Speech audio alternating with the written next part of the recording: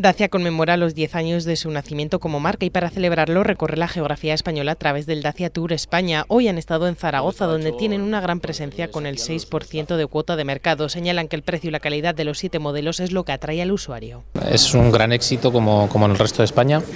Eh, tengo que decir que, en, eh, en, las zonas, en las provincias de Huesca y Teruel, Dacia es líder indiscutible de mercado.